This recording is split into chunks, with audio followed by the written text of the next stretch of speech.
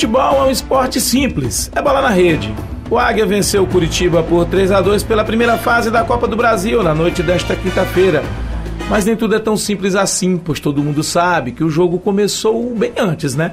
Dificuldade, nós vamos pegar um campo em termos de, de qualidade de piso muito pior, em termos de barro por baixo, ele parece por cima que ele está bom, a grama está alta.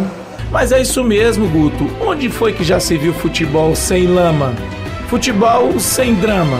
O futebol que se preza tem que ter reza, tem que ter bola dividida, tem que ter torcida. Essa torcida é maravilhosa. É, essa torcida, quando vem para o Oliveira, vem com esse peso, com essa energia positiva. Então a gente sabe que, que isso é muito favorável. Então hoje a gente mostrou mais uma vez que diante do nosso, do nosso torcedor, torcedor nos empurrando, a gente mostrou que a gente é muito forte. O que faz o futebol grande não é o jogo em si, são as pessoas. É a vibração na arquibancada, é o torcedor, é o uniforme que de repente muda de cor. É o Betão Guerreiro no meio do povo.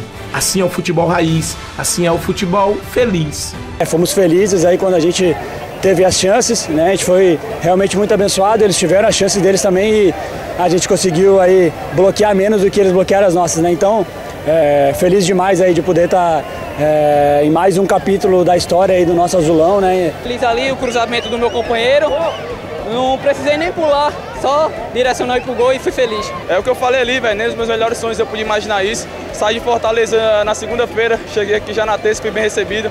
E graças a Deus falei com o grupo, tive personalidade para bater. Já venho aí de 12 pênaltis sem perder. Se alguém ainda tinha dúvidas, saiba que o futebol é o maior esporte do planeta. Então, pega essa caneta. Mancha, sempre quando dá pra dar uma canetinha, ela sai, né? Que o futebol possa ser vivido assim, na grama, na lama, mas sempre com gana, com o coração. Falando nisso, cadê o Curitiba?